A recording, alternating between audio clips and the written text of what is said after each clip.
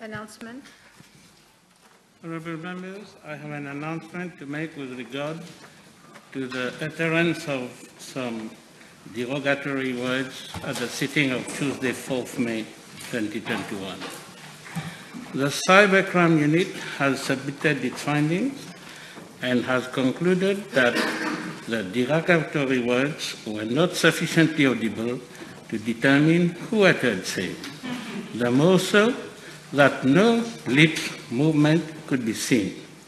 It has therefore not been possible for the cybercrime unit to attribute the utterance of those words to any honorable member. In the circumstances, I consider the matter to be closed. Honorable members, I take this opportunity to remind the House that good temper and moderation are the characteristics of parliamentary language.